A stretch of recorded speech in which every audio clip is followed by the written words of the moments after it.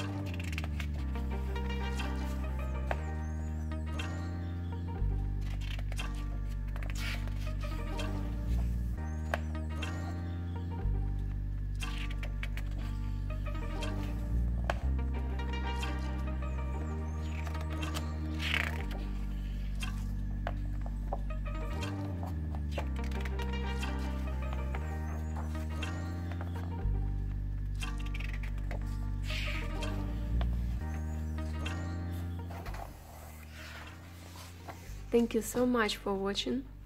I hope you like this series of through videos. It's Creepy Kawaii Kingdom from Daily Art Hour. Thank you very much.